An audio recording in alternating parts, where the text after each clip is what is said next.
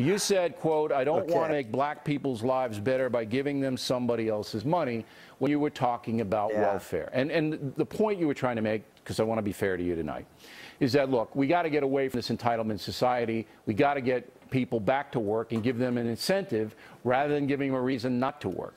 But you threw in black people when most of the people, as you know, on welfare are white people. You think that's going to Yeah. be a problem? No, it's not going to be a problem. First off, the overall point that you made is exactly correct, and I was talking about not just in that in that quote, but throughout the course of my conversation.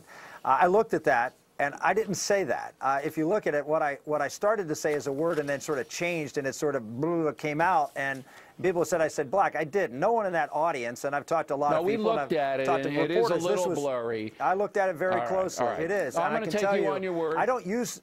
I I, first off, I don't use the term black very often. I use the term African American more than I use black. And I, and I can tell you, as someone who, who did more work for historically black colleges, I used to, ha- every year, I used to bring all the historically black colleges into, into, uh, into Washington, D.C. to try to help them because they, got, they get very little federal money through the, through the bureaucracy. And so I, I helped to try to introduce them to, to people in the Department of Education so they could have uh, more resources. We have two historically black colleges in Pennsylvania, which uh, I've given commencement addresses at Yeah, you because don't of the have to work that I've done those areas. I don't think I- you're- I don't think well, you're a but I, I just, yeah, I, am not. I'm not saying it's it's a bigot, but I, I'm I'm just saying that.